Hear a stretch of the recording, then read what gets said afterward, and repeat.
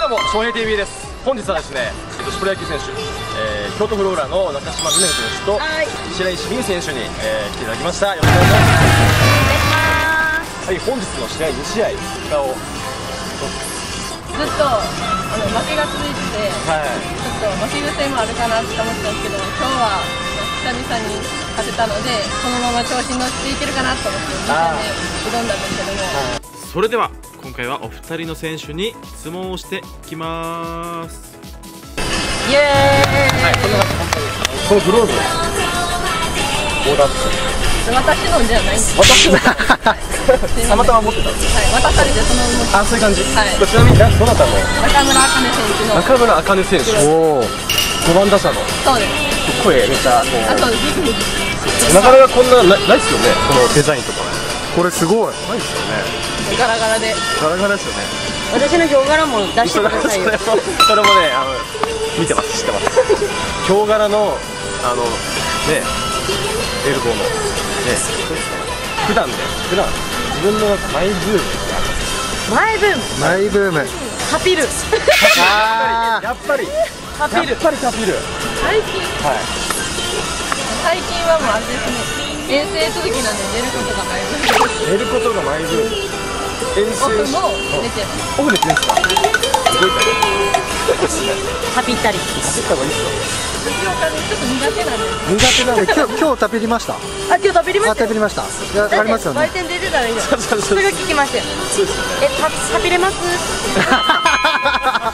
タピル以外もう外に出ますね。あアウトドア。全然違います一人でですかもう一人ででもできます。もう出かけたりは。お買い物行きます。一人ご飯とか。あ一人ご飯は絶対無理です。絶対無理。それは無理一人ご飯は無理。私も無理。無理。そういう感じですね。食べりゃいって感じわかりました私のプレーで見てほしい。フルスイング。ブルースイングおだいぶ今日いいいいねいいですよねうんいやいいねでもアウトになってますギリでしたけど私は足が良くなので、はい、結構早いですよでも3番目ぐらいえでもすごいですよ俺なんか一番下だねやっぱ早い人ばっかりだから。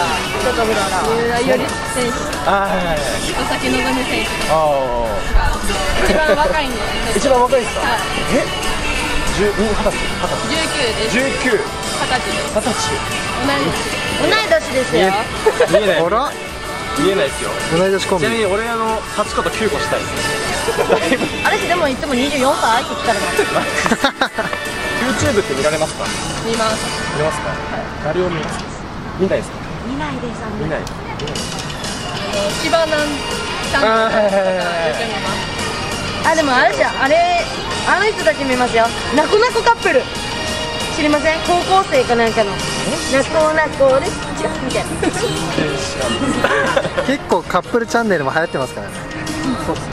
ぜひともあの YouTube 見てほしい野球系見た見た方がいい。ですえでもたまに見ます。見ます？はい。印象に残ってる。あでもあれしか見てないですよね磯崎選手と鶴選手たまに見ますよ。最近や。んだいぶ最近や。んえそちなみにそれ見ました？見てないです。正直でよろしいいやいや正直でいい。でもでも今回もう出るんで言った見てください。はい見ます。絶対全国のみんなにこう。今日出るよ出るよ出るよ。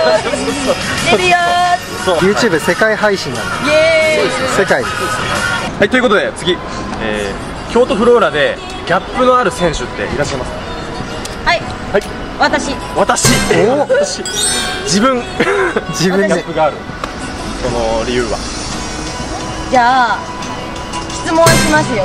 俺に質問するんですよ、私ピアノとは料理とできると思います？いやあんましない。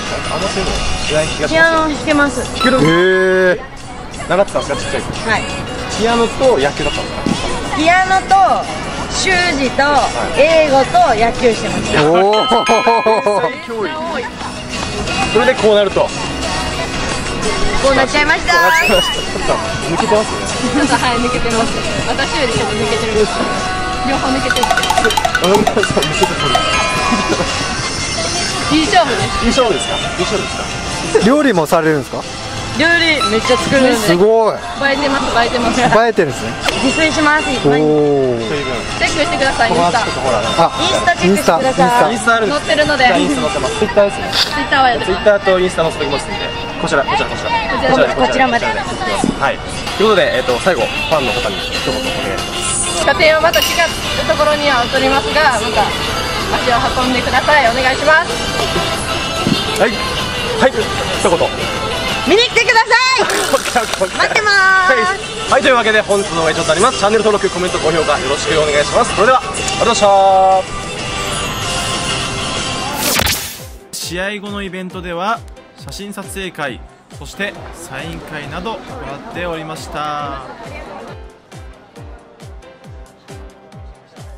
試合で疲れている中このようなイベントも参加して本当に選手はよく頑張っておりました。するとその中で2人の選手が絡んでくれました。か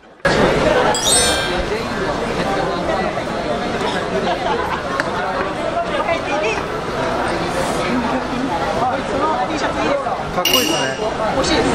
翔平さんに言えば多分。翔平さん T シャツ欲しいな T シャツ欲しいあげましょう後日お二人の選手には T シャツ購入していただきました。ありがとう。はいというわけで今回一日女子プロ野球の試合を見てきましたけどもあの、まあ、試合と試合の間とかあの試合前とか試合後とかもうたくさんイベントやってらっしゃってでその試合終わった後もあのこの外のねブースがいろいろあったんですけどもそこも選手も手伝って片付けをしてたっていうのは本当に余裕のない一日だったんだろうなと率直な感想です。はい僕的には。なんか試合中もスタンドだいぶ盛り上がってましたよね。そう。いろんなイベントで。そう。今日はねイベントもやっぱあったんですけど選手も一生懸命やられてるんであのレーザービームベーン投げてもうタッチアウトしちゃうとか負けてる場面でもあの繋いで繋いで同点にしてみたいなその,、ね、底力というかその我慢強さとかそういうのが女子選手にはすごい伝わりましためっちゃいい試合でしたね。そう最後めちゃめちゃいい試合で本当に。なかなかね、あのー草野球やってる僕らからしたらもうね最終回で2点差とか何点差あれば、まあ諦めちゃうことが結構あると思うんですけどそういうのが全くなくてスタンドの方もすごい盛り上がってたし本当にいい空間だったと思いました。はいもしこの映像を見て、えー女子プロ野球気になった方は試合に、えー足を運んで見てはいかがでしょうか。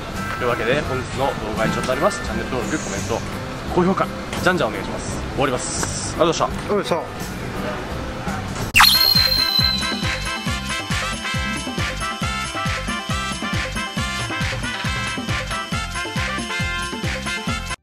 本日のご視聴ありがとうございました。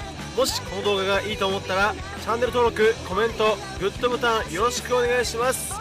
Twitter、Instagram もやっておりますのでフォローの方よろしくお願いします。今後動画でやってほしいことがあればコメントにどんどん書いていってください。お願いします。